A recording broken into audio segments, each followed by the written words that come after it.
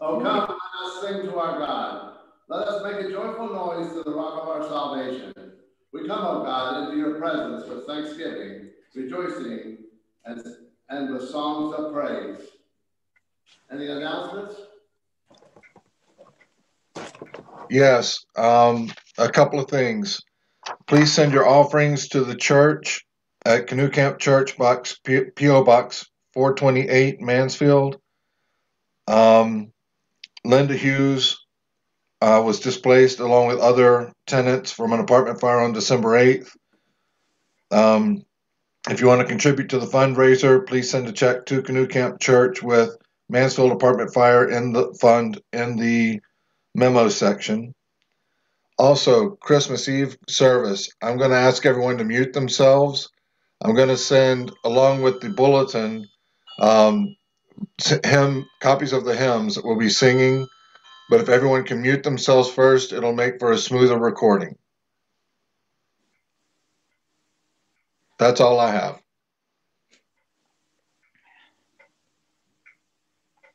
Any others? Okay. Listen to the gospel according to Luke.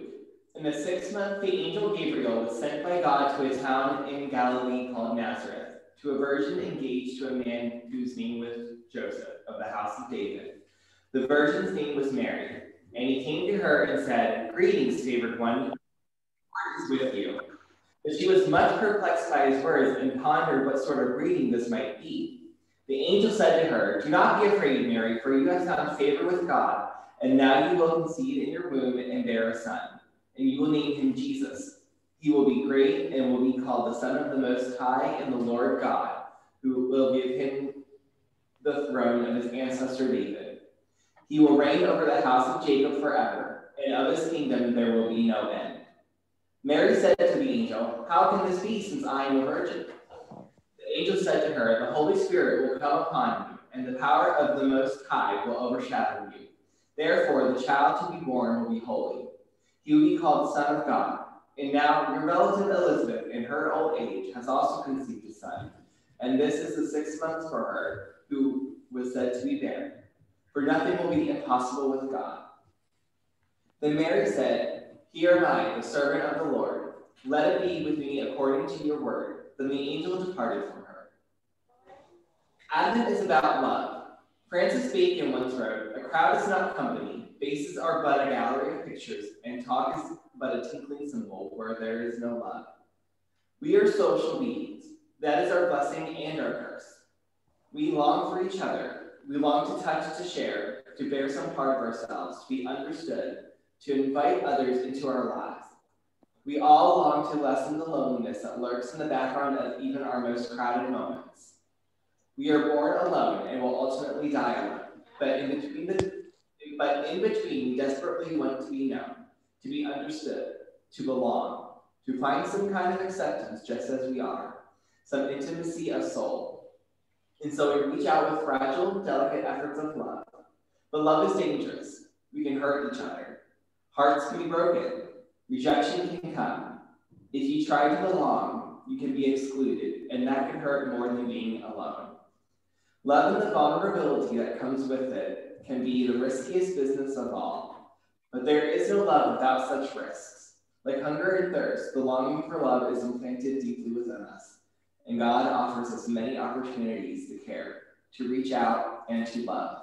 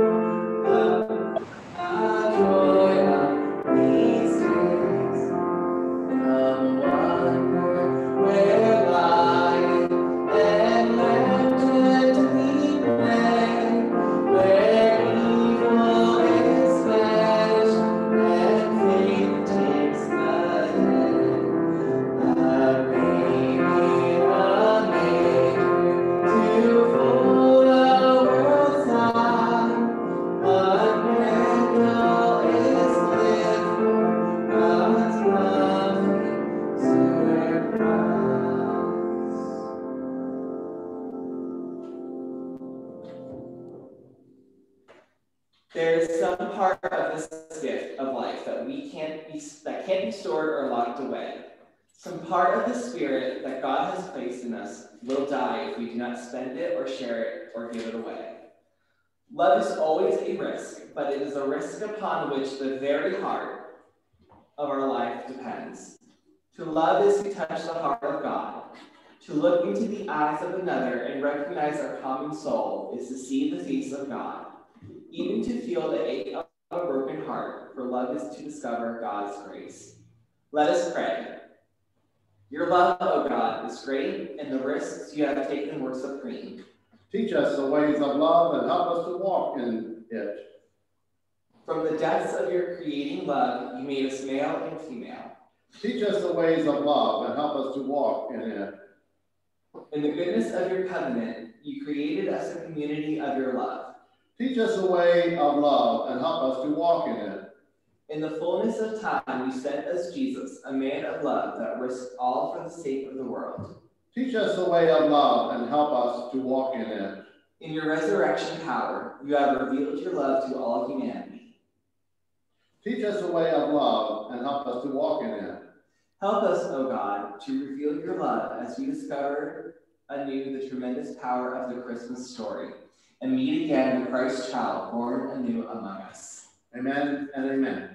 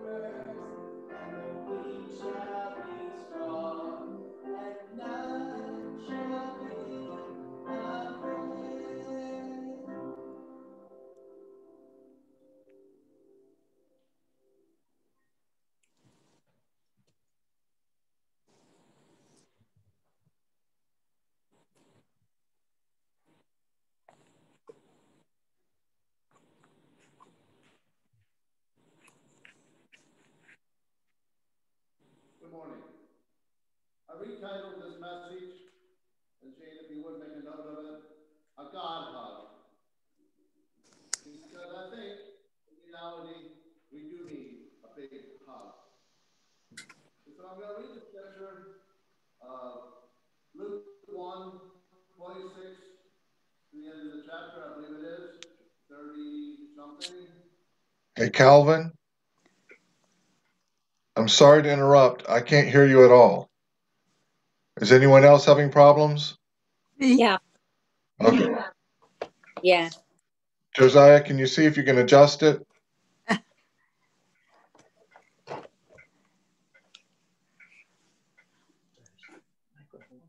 I have somewhere to find it.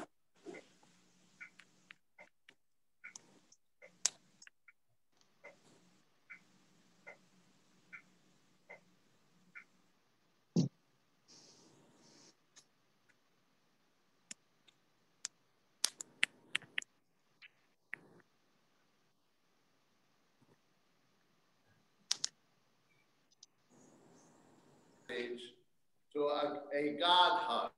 And I was asking Shane if he would make a note of that when he puts it on the website, because I would like to use the title and uh, later in another couple of weeks when I talk about the Epiphany and the wise. So we all need a big hug, I think, at this time of the, the year, especially uh, after a snowstorm and COVID. I think we are looking for some kind of hug somewhere and sometimes a touch from our friends and family, and we can't do it. So thus I see the Christmas story as a God hug. And so I'm going to read uh, Luke 1, 26 through 28, uh, 38. and in the sixth month of Elizabeth's pregnancy, God sent the angel Gabriel to Nazareth, to a town in Galilee, to a virgin pledged to be married to a man named Joseph a descendant of David. Virgin, the virgin's name was Mary, and the angel went to her and said, Greetings, you who are highly favored, the Lord is with you. Mary was greatly troubled with his words and wondered what kind of greeting this might be. But the angel said to her, Do not be afraid, Mary. You have found favor with God, and you will conceive and give birth to a son, and you will call his name Jesus. For he will be great and will be called the Son of the Most High. The Lord God will give him the throne of his father David. And he will reign over Jacob's descendants forever, and his kingdom will never end. How will, how will this be, Mary asked the angel, since I am a virgin? The angel answered, The Holy Spirit will come on you, and the power of the Most High will overshadow you. So the Holy One will be born will be called the Son of God. Even Elizabeth, your relative, is going to have a child in her old age. She who was said to be unable to conceive is in her sixth month. For no word from God will ever fail. I am the Lord's servant, Mary answered. May your words to me be fulfilled. And then the angel left her.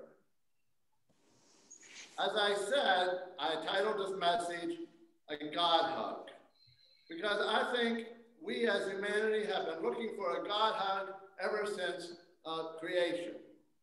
And I'm going to go back uh, and, and I want to ask the question why did we worship nature? If God was ever so present and around us and from creation and had a hand in everything, why did we miss out in this picture? Why did we worship the Sun, S-U-N, rather than the S-O-N? Why, if God has such a, a, a loving relationship with humanity, did we veer off in some way? And my point today is that we never really had a chance, and that God never really touched us physically. He hovered over us and came close, but never gave us a hug. And I think we long for that hug from God, our creator, or this being that we call God, and that heavenly realm.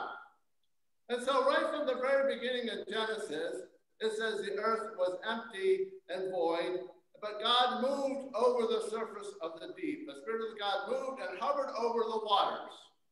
There was no direct contact in this respect, it hovered over. It didn't go down into, it didn't touch, it hovered over.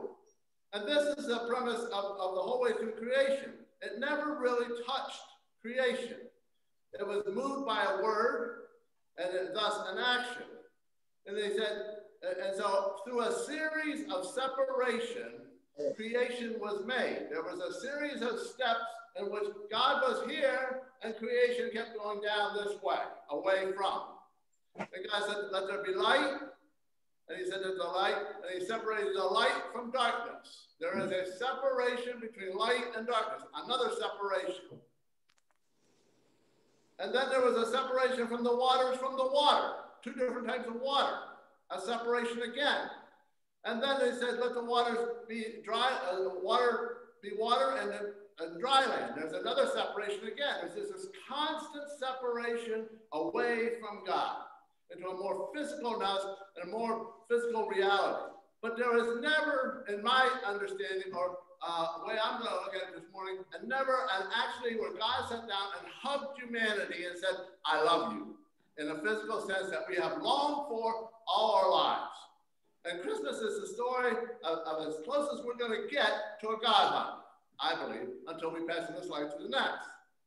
And so later on, and after a few days, on the fourth day, he created the stars in the sky that were to light our way and uh, guide us and show us the seasons. But again, there was no direct contact with humanity, a hovering over or next to or spirit of all the way down to where man is created. Even then, it says a likeness of, of, of their image. There still is not this human, human to God touch that we long for. We and, and even in, in the second chapter, or what is considered to be the second story of creation, which I think is more has to do with our beingness within ourselves, even the dust and the breath in which God has put into us was not a physical touch. The essence and the breath is not the longing of that physical touch in which we had. He planted this garden and he put us in there, and even taking our helpmate, which I consider to be wisdom, she is still not a, an, actual reality because we still all have our ribs. Us males all have our ribs. So that, that part of it still was not a physical touch in the way that we uh, consider the littleness of the story. I don't consider the littleness of the story. Yes, it's a, a wonderful story, but it has very deep spiritual implications. We long for that touch. And even in the Garden of Eden, we misbehaved and God kicked us out. So there we are. We're kicked out of the garden. We're on our own. And he says, basically, Go fend for yourself. So we're left with what? A creation, a story of, of us here on this earth. I'll, I'll narrow it down to a story of, of humanity living on an earth with the cycles and the seasons and the sun. So why wouldn't we look at the sun and worship the sun, the S-U-N, because it is the giver of light and life. We know and we can see that. We don't see a God who, uh, a God spirit necessarily in the way that we see the sun rising and cycling each day. And so, why wouldn't we, seeing how we're left unto our own demise in some ways, start worshiping the sun? Why wouldn't we, as the sustainer and the creator, see the sun as God or a God? The wheel of the year in which we talked about was the wreath as it circled around in its times and seasons. It was a way that we read uh, the seasons and the times, as it says in Genesis, but still there is no direct contact with God and no God hug. We have learned to read the stars the astrologists have read, the stars and the movements, and we have calculated many different things throughout our uh, uh, lifetimes. Our ancestors have done that. We have stepped on that in some ways and kind of denied it. It became our way of living. Our ancestors and our forefathers understood the world through nature not through a living God who has created and is off somewhere that we don't understand, in which we don't have no physical contact with. We have a physical contact with this world, and thus the rise of nature worship. We have looked at a way that the evergreen tree became a symbol of eternal life because it never died. So why wouldn't you look at the, the evergreen tree or what is now our Christmas tree and say that is a, a, an idea of eternal life? It's not that nature didn't show a God. I'm simply saying that we didn't have this physical touch which we long for in our lives. The winter solstice became the most important day of the wheel of the year because it was the darkest night in which you turned out the light and then you, and the light was turned on in the morning and the fire was rekindled and it brought back the light for the next whole year, the giver of life. So the winter solstice became, in my understanding, and in my limited understanding of paganism and our forefathers' understanding of nature worship, the most important day. It brought back light and life. And without that, there would be no life. If it stayed dark forever, there would be no life. We would cease to exist. So the Yule season became the most important time of the year. The light is the actually the closest that we can get to a God hug, the light and love of God. But still, it is not what we long for. We need a God hug, especially this time of year with everything that's going on. And I think we do, we long for that no matter what.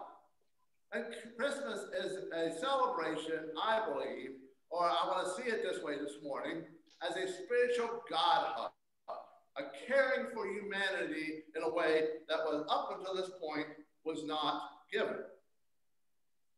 Yes, there was uh, experiences, there's stories of various experiences, but that was only limited to the individual and a few. It was still not a physicalness of God coming down and giving humanity a hug. We long for that hug. As uh, the reading says, that uh, love is, is, is that uh, treacherous thing in which we have to step out and we have to uh, uh, uh, kind of put ourselves out in a dangerous position. So I wonder, I guess I'll ask a silly question. Is God afraid to love humanity in a physical way? I don't know. I have a lot of questions in my life. So I want to look at the text, for instance, and, and talk about Mary for a second. I don't believe for a second that Zechariah and Elizabeth and Mary and Joseph were dumb individuals. I think they were very smart individuals. They were the spiritually intelligent people and understood the times and the seasons.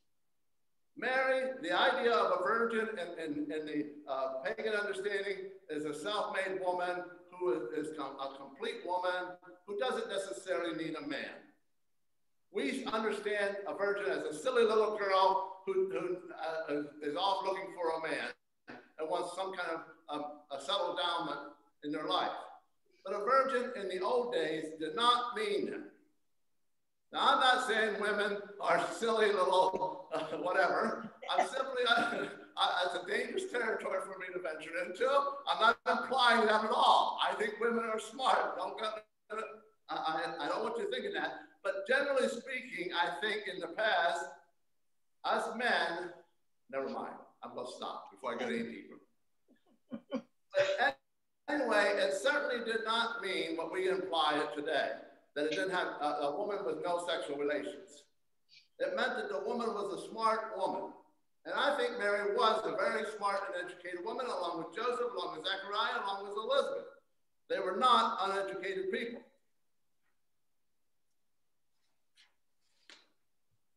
I believe that Mary was barren. I, have said this before. Elizabeth was barren, and I think Mary came from a long line of barren women in the Old Testament who, who were, in a way, a self made woman.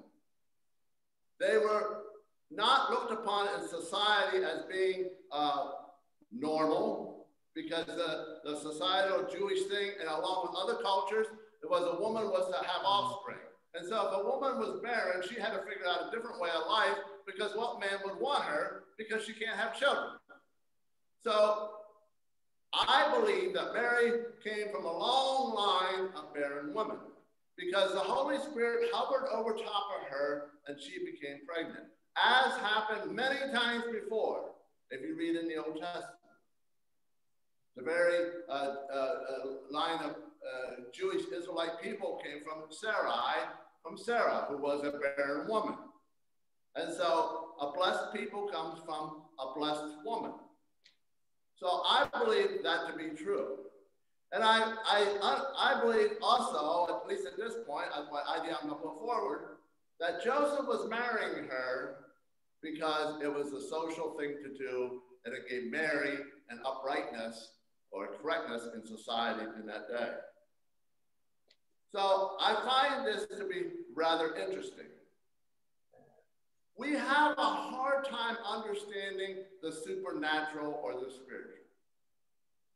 We were never shown it in a way, I believe, that it was understandable. Again, God was off in some place uh, for us, from our perspective, was not did not come down and stand does not come down and stand in front of us and give us a hug and say, "Look, I'm real."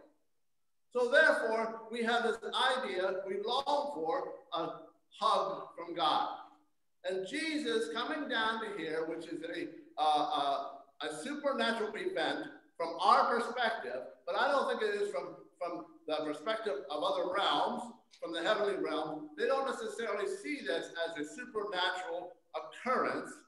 They may or may not, but we see it as that. And we have a hard time understanding it because we grew up and our ancestors understood nature worship. We saw the things that we worshiped most times. Yes, we have overlaid our Christian ways and our thoughts over top of these pagan ways. And in some effort, we have even stepped on them and tried to get rid of them. I think and I believe we should embrace them as our past, whatever they are, whatever culture you came from, around the globe, doesn't matter. Every culture did, uh, worship in some way nature, from Africa to the, uh, the Asian continent to South America to the, uh, uh the First Nation people. Every one of us have a, a line and a descendant from nature, nature worship. We're not unique. We all are in this together. I think that if we understand our past, it helps us to understand the supernatural event of Christmas and the God hug that he was sent in the, in the, the birth and the life of Jesus Christ and the message that he brought to this world. And with that, I'm going to say amen.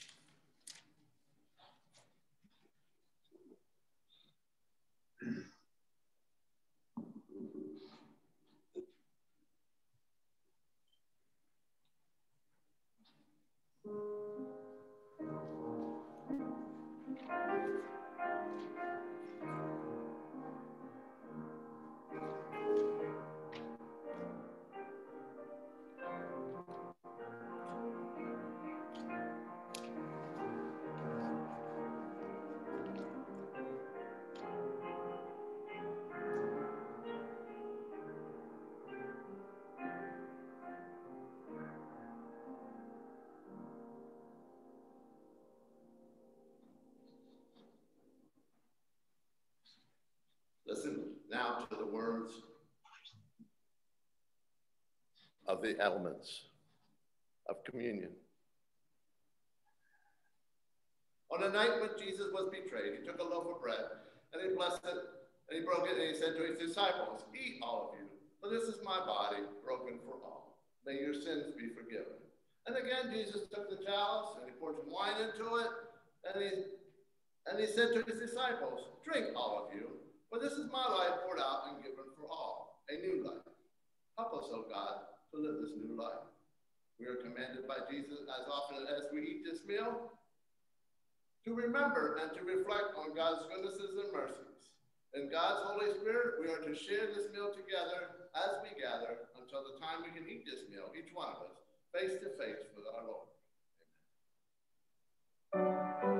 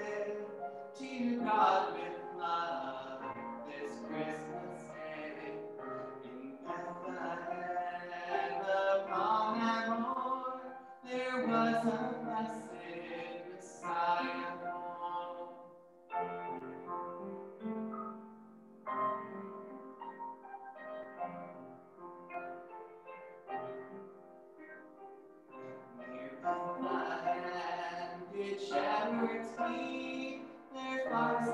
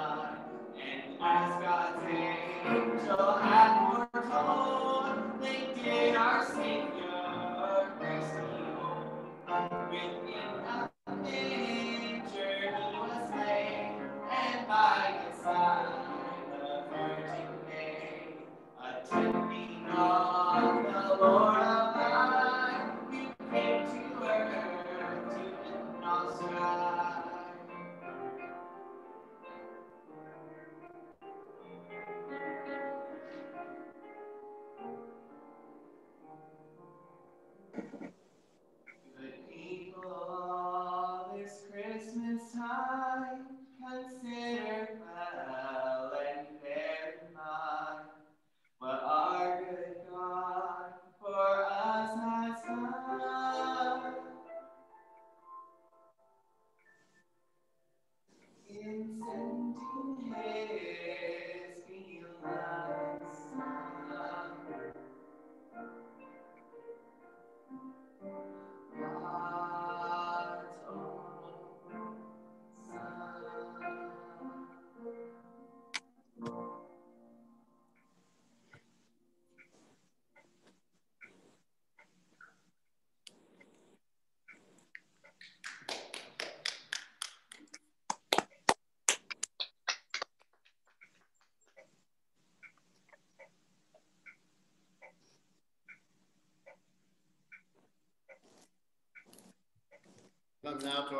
And concerns.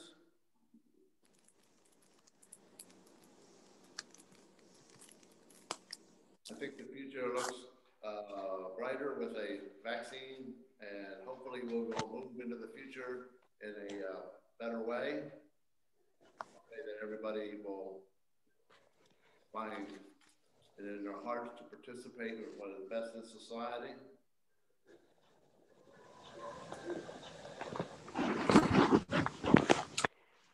Have a joy. Go ahead.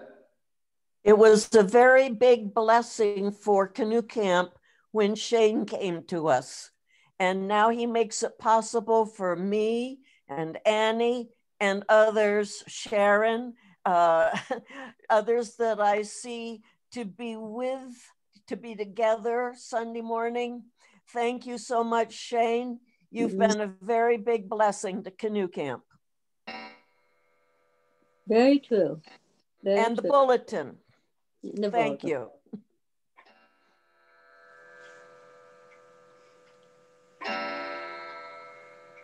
Others? Well, even though we got way too much, I love snow. So. no, not this much. Not this much. Not this much.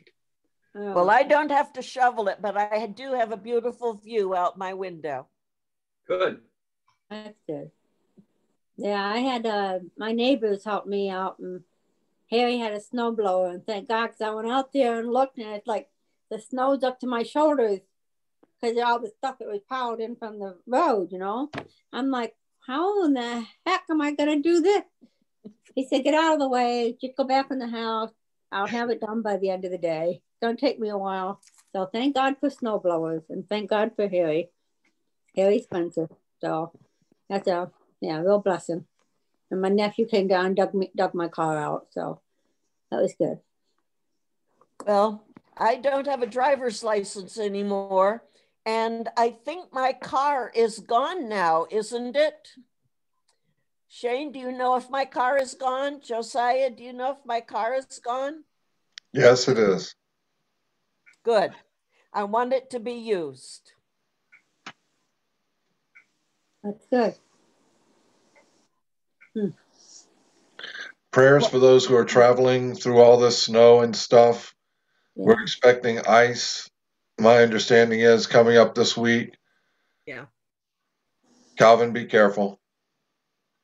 Absolutely. We don't have to worry about no here. So,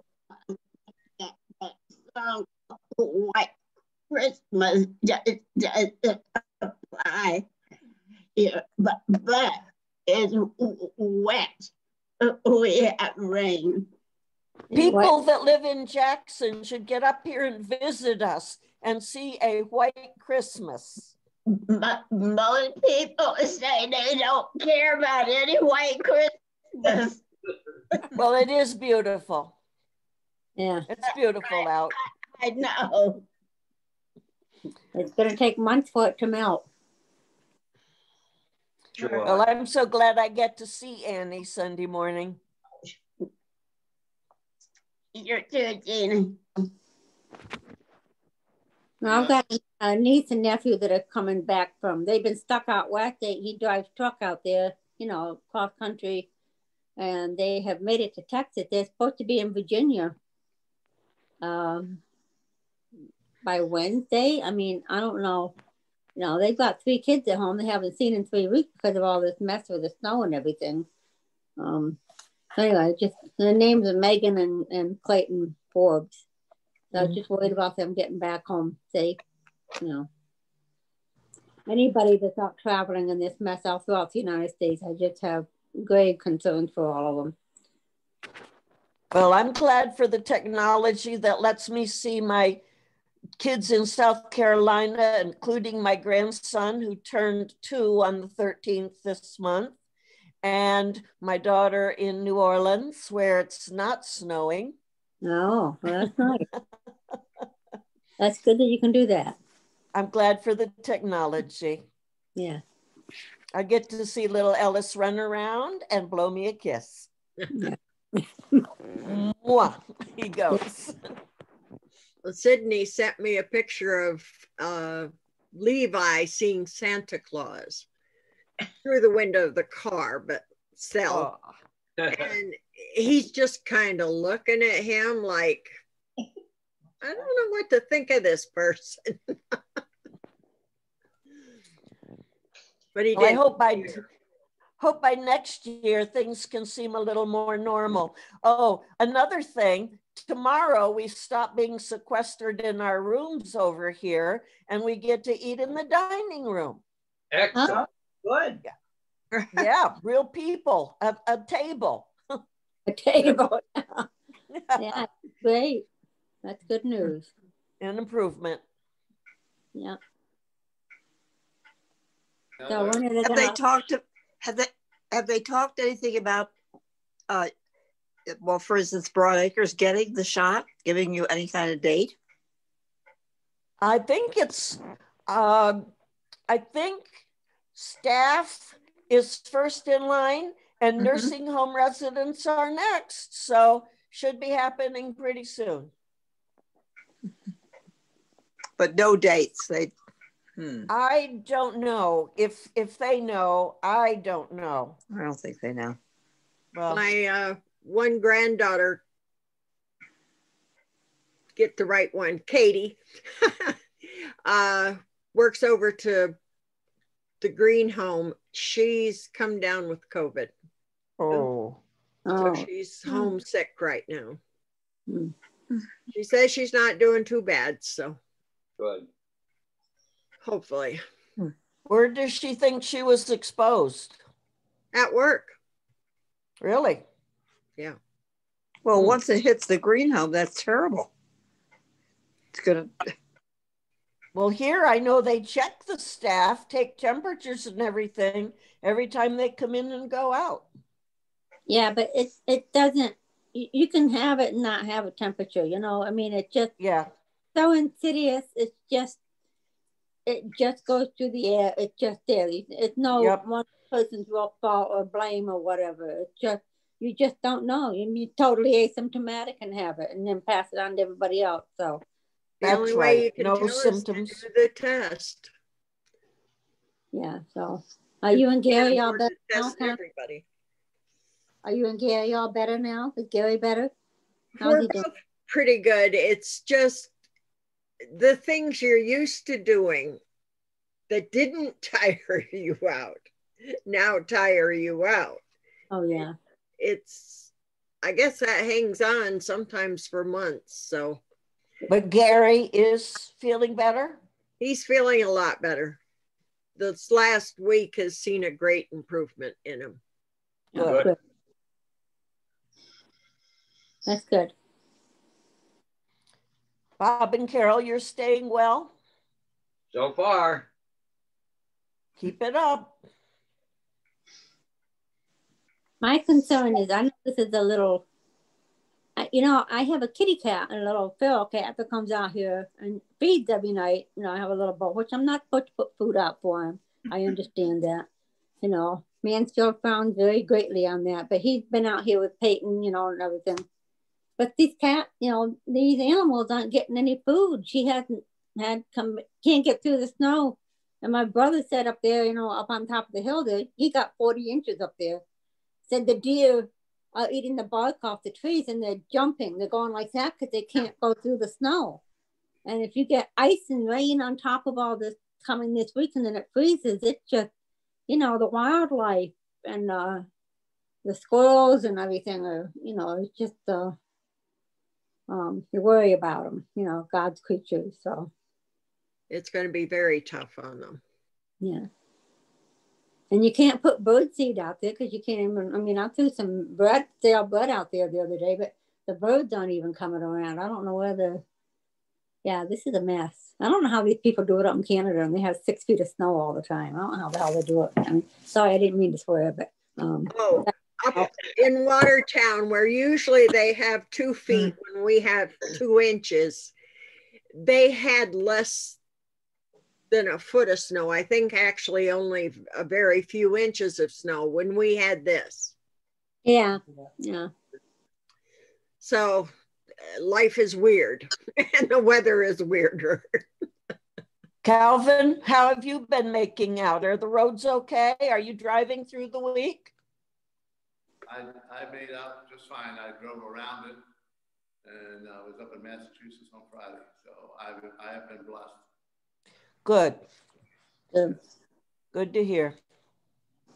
Yeah, we worry about you, Calvin. Don't want anything to get in Yes, your way. I've I've thought about him being on the road all week. Yeah. Mhm. Yeah, me too. Prayers for sure. Yes. Uh, any others before I go into the pastor's prayer? I wanna, I'm gonna use a, you, a winter solstice prayer. Calvin, What?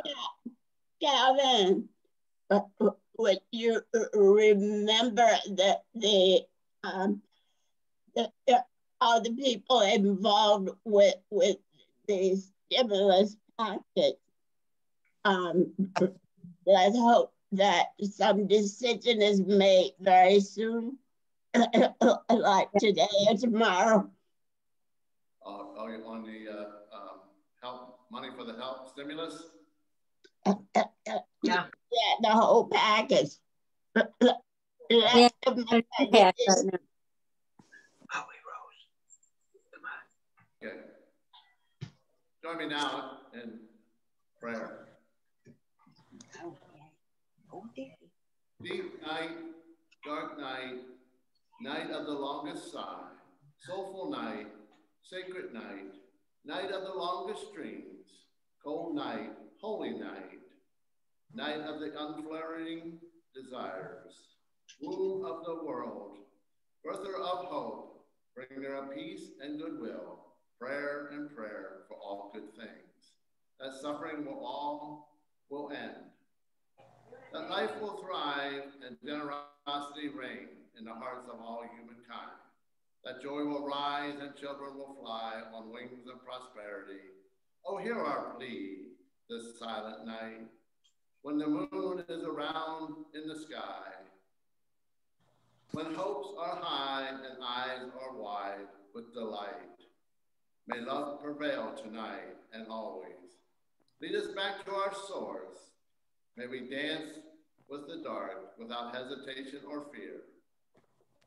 A savor her promise of plenty.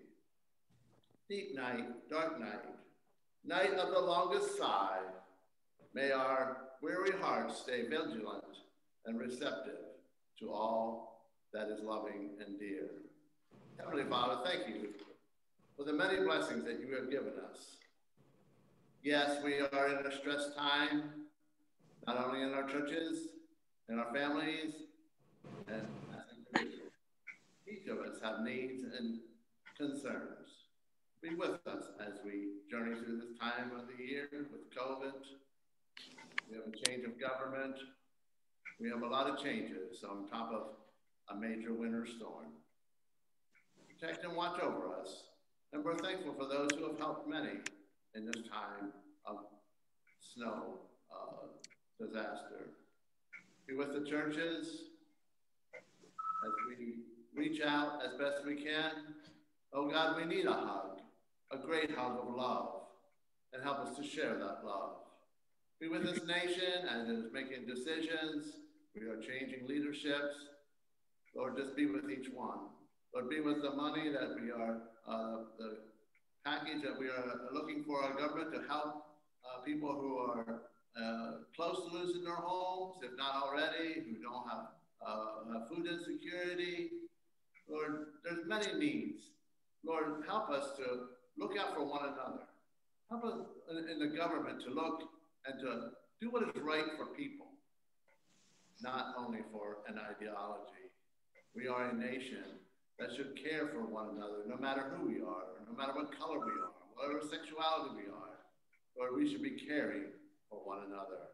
Help this stimulus package to pass and may it reach where it's supposed to and do the best good.